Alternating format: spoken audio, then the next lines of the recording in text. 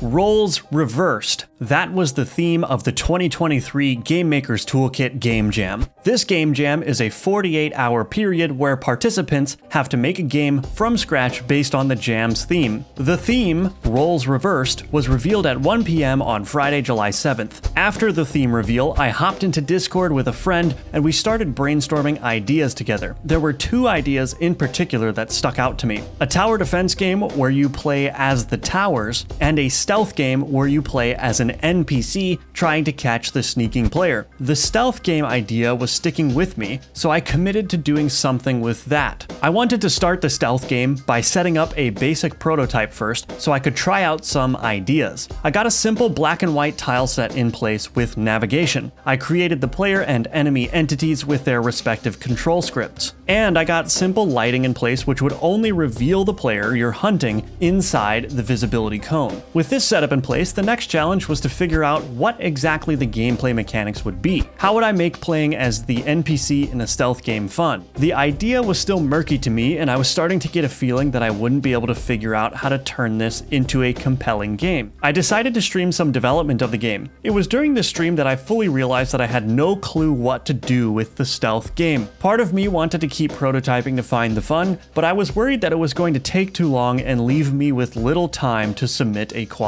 game. So, live on stream, I dropped the stealth game idea. Okay, so sorry, no more stealth game.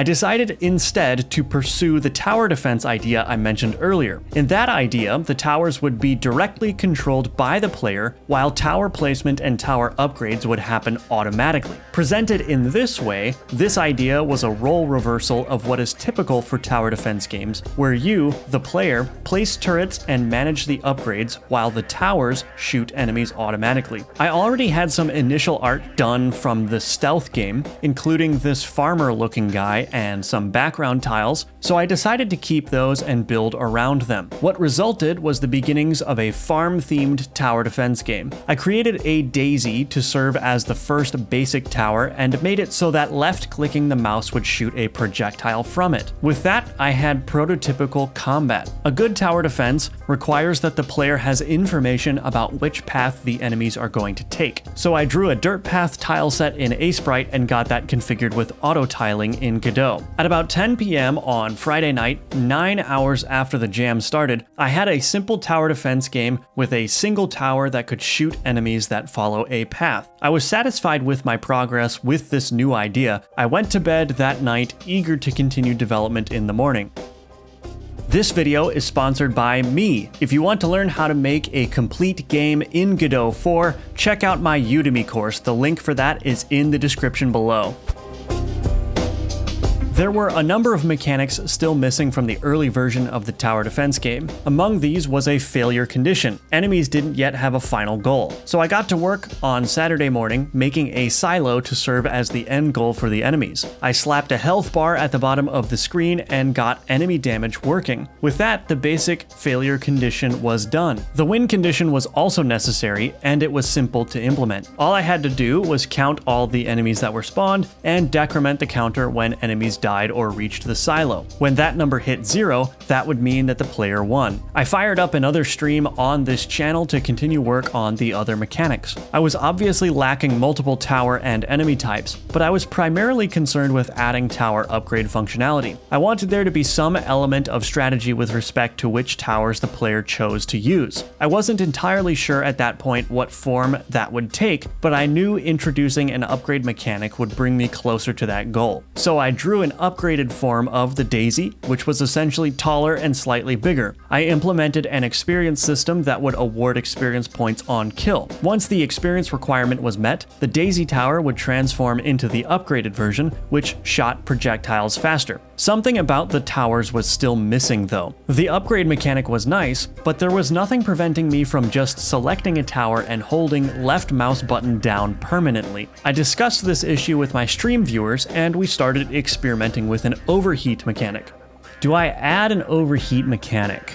What do you guys think about uh, an overheat mechanic? This overheat mechanic morphed eventually into an energy mechanic, which worked like this. Towers started at full energy and expended energy every shot. If a tower dipped below zero energy, the tower would be unable to be used until it fully regained its energy. I found that I was very happy with this system. It put some pressure on the player to switch towers to avoid the penalty that comes with fully expending a tower's energy. Big thanks to everyone on that stream for the energy suggestion and helping me think through this concept. Since there was only one enemy at that point, I added a classic tower defense enemy type, an enemy that is easy to kill but much faster than the other enemies. This new enemy took the form of a dog, which is somewhat regrettable. Yes, unfortunately in this game you're gonna kill the dog. Maybe I shouldn't do that, but I might get points off for that. Nah, I'm gonna go for it. I'll take the risk. At around 1.20 p.m. on Saturday, just over 24 hours into the jam, I had all of my mechanics. In this game, since the player has no control over tower placement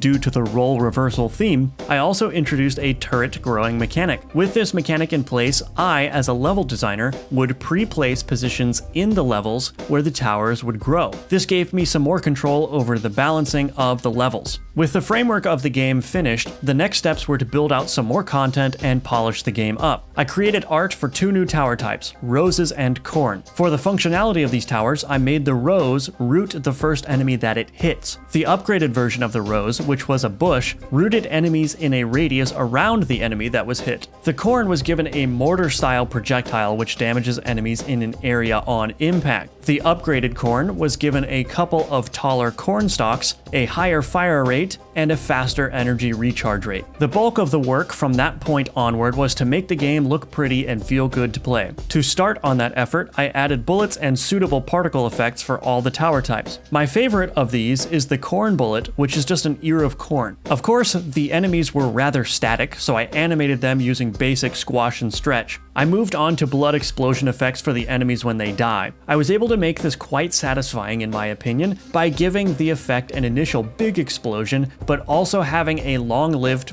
particle effect that hung around for a few seconds to give the impression of pooling blood. It was 6.30 p.m. by that point and I was starting to feel the time pressure. I had 19-ish hours to get sound effects, more particles, and more polish done. Oh, and I also hadn't started seriously designing the levels yet or doing any playtesting. The next five hours or so were spent on these efforts. I added a selection indicator to inform the player which tower they currently had selected. I also added a small experience bar over the towers so that the player could know when a tower was expected to be upgraded. After that, I finally got to work putting effort into designing levels and doing playtesting. I got the bulk of the level design done at this point. I even managed to squeeze in the creation of a new enemy type, the Tractor, which is slow and has a lot of health. And I created some basic screens for level completion, level failure, and overall game completion. After all that work, it was 12.30 a.m. It was officially Sunday, July 9th, the submission deadline day. Submissions were due at 1 p.m., which gave me about 12 hours to submit the game. I set my alarm for 6 a.m. and went to bed for the night.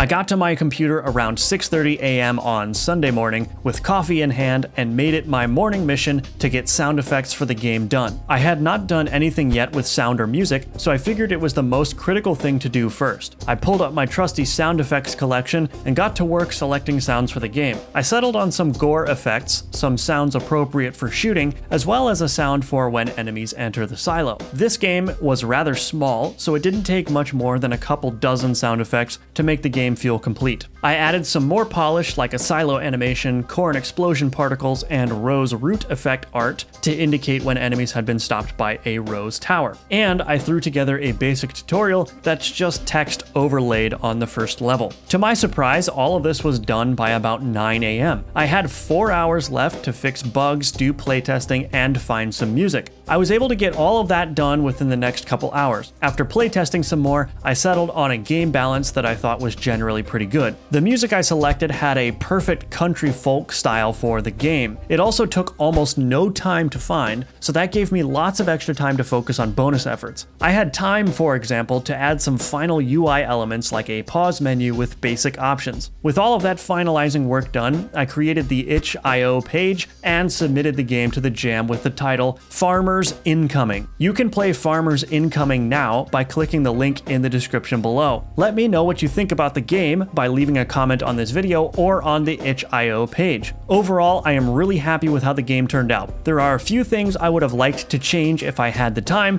but I definitely think this is one of my best entries to a game jam yet. The mechanics work well together, the balance seems just about right, and the game is generally polished and feels good. On top of that, I think the game fits the theme pretty well. I want to give a shout out to my friend Ava, who helped me brainstorm and talk through ideas regularly through the jam period. He also submitted a game called Kraken Konundrum, so please give his game a try as well. The link for that is in the description too. See you in the next video.